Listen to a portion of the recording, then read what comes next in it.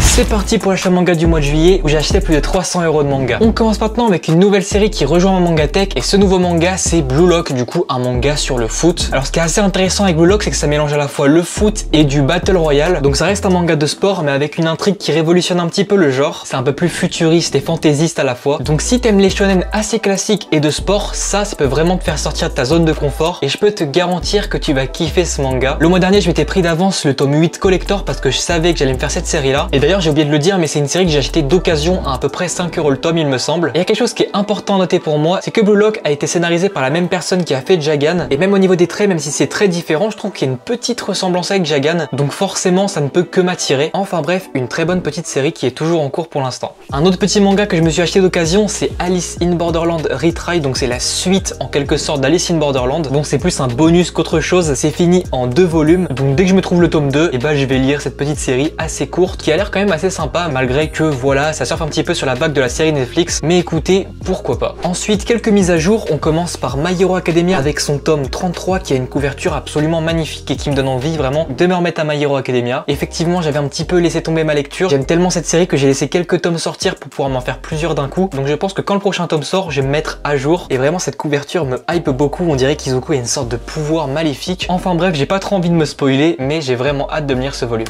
J'ai aussi acheté le dernier tome sorti de Yu Yu Hakusho, donc le tome 5. Là, je pense que je vais simplement attendre que tous les tomes sortent pour pouvoir me les lire. Et si tu le savais pas, c'est le même auteur qu'Hunter Hunter. Petit collector, collector avec un S parce que j'en ai acheté 3 d'un coup. Oui, 3 d'un coup. Je me suis acheté le tome 23 collector de Demon Slayer que je trouve vraiment super beau. Avec cette couverture qui continue sur l'arrière de la jaquette, qui est brillante et qui a une matière vraiment très agréable au toucher. Ça, c'est un collector que j'aime, mais ce que j'aime pas, c'est quand on abuse sur les collectors. C'est ce qu'ils ont fait parce que en plus de ce tome 23 là, ils ont sorti un autre collector pour le tome 23 avec un coffret et évidemment, bah, je l'ai acheté. Donc on a ce petit coffret Demon Slayer comme d'habitude qui contient le tome 2 du fanbook et le tome 23 classique qui a lui aussi une très belle couverture mais pas collector cette fois. Bon, au moins je pourrais dire que j'ai tous les collectors de Demon Slayer maintenant. Et le même jour, ils ont sorti un autre collector de Demon Slayer cette fois du tome 1. Alors je sais pas trop pourquoi ils en ont sorti un pour le tome 1. Peut-être comme le 23 était sorti, ils ont voulu marquer le coup en ressortant le tome 1 en édition collector. C'était pas nécessaire, mais après c'est quand même assez cool. Cette fois on a une couverture de matière plus papier, donc avec des petits reliefs et certains détails brillants comme par exemple le sabre juste à l'arrière du tome. Donc c'est assez cool, mais du coup j'ai deux fois le tome 1 dans ma collection et deux fois le tome 23 aussi.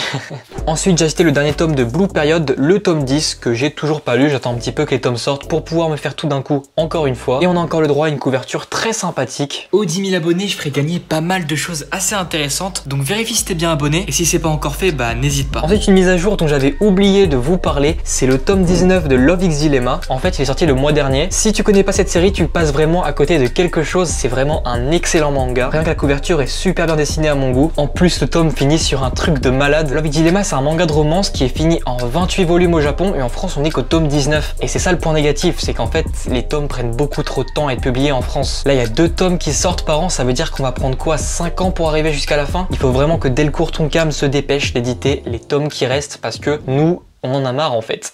J'ai acheté le premier tome de Deadpool Samurai, donc c'est un manga en deux volumes. Donc c'est vraiment très second degré, c'est pas du tout un manga prise de tête, ça se lit assez rapidement, assez facilement. Et donc en plus c'est qu'en deux volumes, donc ça n'engage à rien, c'est vraiment un petit manga chill et pas prise de tête. Tiens d'ailleurs mets-moi en commentaire c'est quoi ta lecture du moment? Moi ça m'intéresse et je mettrai un cœur sous ton commentaire. Par la suite, une série que j'ai fait en quasi intégralité. En fait j'avais déjà le tome 1 et donc j'ai acheté du tome 2 au tome 10 de Gannibal. Si je me trompe pas, c'est un manga fini en 13 volumes, un petit peu horrifique, un petit peu thriller. Personnellement j'ai lu que le tome 1 pour l'instant, mais ça a l'air d'être un manga de très haute qualité. Et petite mention honorable au tome 3 qui a une couverture vraiment super créative, je trouve. Une autre série que je me suis acheté dans sa quasi-intégralité, parce que je crois que le tome 5 est sorti, c'est The Kingdom of Ruin. Alors c'est les mangas que mon libraire m'a recommandé dans la vidéo où vous contrôlez mes achats manga. Pour l'instant, je n'ai lu que le tome 1 et ça m'a vraiment très surpris. La fin du tome 1 est vraiment masterclass. Donc à voir pour la suite de la série. C'est un manga de revanche assez gore, on voit des planches assez nerveuses. Et puis il y a pas mal de combats assez stylés et le tout dans un univers à la fois médiéval et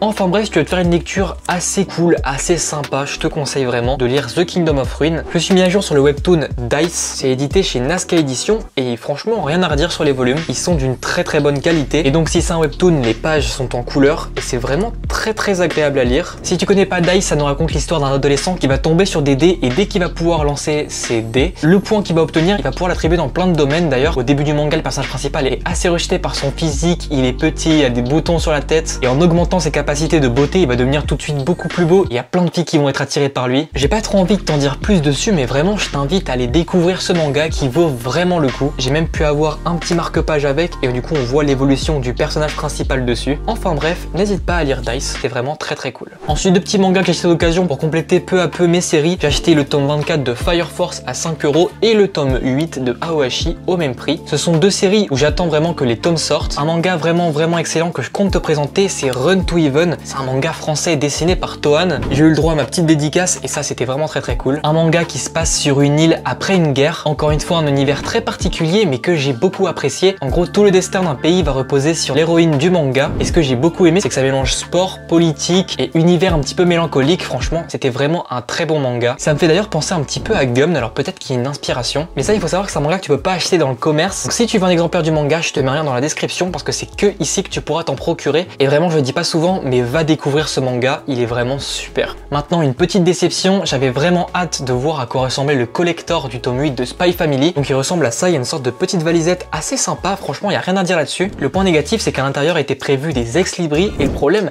c'est qu'ils étaient quasiment impossibles à enlever de la boîte et j'étais pas le seul à avoir ce problème. Crois-moi que normalement ça devrait pas être le cas d'autant galérer. Sinon voilà, Spy Family c'est toujours aussi bien, je te conseille toujours autant Spy Family, c'est vraiment excellent. Au début moi j'étais sceptique mais au final ça m'a vraiment conquis. Petit manga en 4 tomes, c'est Dead Flag, donc un manga un petit peu horrifique, un petit peu gore, un petit peu battle royale. Mais en gros ça te raconte l'histoire d'un lycéen qui va voir apparaître dans la cour de son lycée un énorme bateau avec un petit pirate qui va sortir et qui va dire à tous les élèves du lycée faites les pires actes de piraterie et les 10 élèves qui auront fait les plus grosses dingueries survivront par contre tout le reste mourront. Bon c'est un petit peu cruel mais c'était vraiment une lecture assez sympa, pas trop prise de tête et franchement très cool. J'ai aussi acheté évidemment le collector du tome 41 de Berserk, donc cet énorme volume de qualité avec cette couverture cartonnée qui fait vraiment plaisir. Et donc à l'intérieur on a le tome 41 en grand format, un tome commémoratif pour la mort de l'auteur Kentaro Miura qui malheureusement nous a quitté il y a peu et je trouve que ce tome lui rend vraiment bien hommage. En plus de ça on a une plaque métallique qui était compris avec et qui est vraiment magnifique. Par la suite, on a les 4 gros tomes de Baki. Alors ça, ça c'était vraiment une super bonne lecture. Il me reste plus qu'à lire le tome 4 et j'ai vraiment super hâte parce que j'ai surkiffé Baki. Si tu veux voir comment je les ai eu en avant-première, je t'invite à cliquer sur cette vidéo. En plus, il y a d'autres petits mangas que j'ai pu chiner en avant-première. Je te remercie de m'avoir écouté et je te dis à la prochaine. Allez, ciao